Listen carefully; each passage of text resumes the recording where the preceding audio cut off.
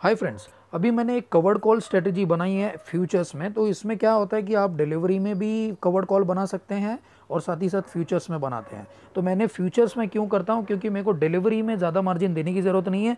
Futures में मुझे कम margin देना पड़ता है एक्सचेंज को, ठीक है? तो मैं क्या करता हूँ कि एट द मनी का कॉल ऑप्शन अगर आप देखेंगे तो मैंने 430 को शॉर्ट किया है।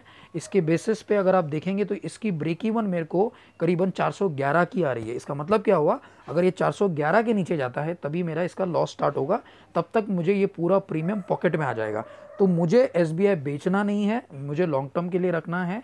अगर मेरा व्यू है कि मुझे कवर्ड कॉल स्ट्रेटेजी फ्यूचर्स में करना है तो मैं इस तरह से ट्रेडिंग कर सकता हूँ और यहाँ की प्रॉफिटेबिलिटी मैं पूरा अर्निंग कर सकता हूँ। ऊपर जाएगा तो आपका ट्वेंटी नाइन थाउज़ेंड फिक्स है। अगर नीचे जाता है, ठीक है, नीचे जाता है तो आप उसको नवंबर के साथ हेजिंग कर सकते हैं तो इसमें कोई परेशानी नहीं है। अगर आप अच्छी स्क्रिप्ट लेते हैं तो। Thank you so much